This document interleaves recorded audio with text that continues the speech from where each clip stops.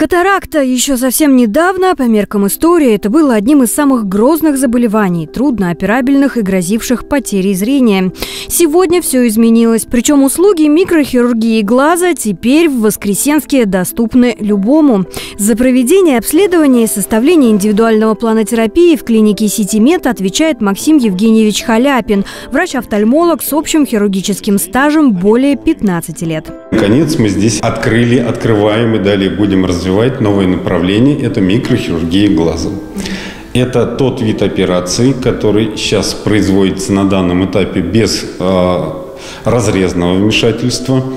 Одно из основных направлений – это катарактальная хирургия, что сейчас очень важно и актуально а, для наших бабушек, дедушек. Также с учетом развития технологий а, наша отрасль она помолодела в плане пациентов.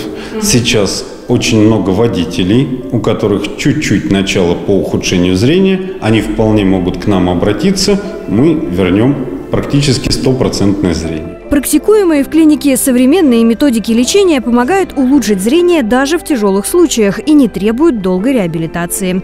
Пребывание в комфортном стационаре после операции занимает всего несколько часов. У нас одно из самых современных оборудований, естественно. Именно это нам позволяет производить оперативное вмешательство за один день.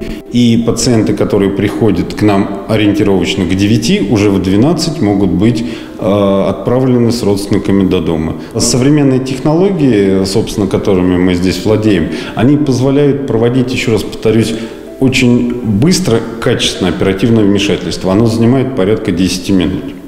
И период заживления у пациента идет в среднем 2 недели.